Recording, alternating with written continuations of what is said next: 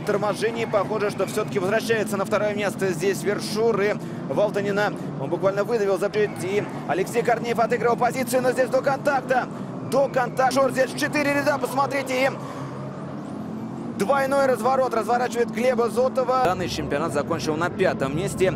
И первый номер у него, потому что среди всех, кто остался, смотрим, что здесь было. Ну, конечно же, Томас Тюила. Томас Тюила здесь был абсолютно не прав. Кончиков, и здесь атака сейчас Никиты Ситникова. И до контакта с двумя финами доходит. В итоге Руппе Марканина и Юха Валтанина. Здесь атака Ярна Опера в 13-м повороте. И сейчас разворачивает едва сейчас и соотечественника здесь Артема Петрова. И подпрыгивает Томас Тюила.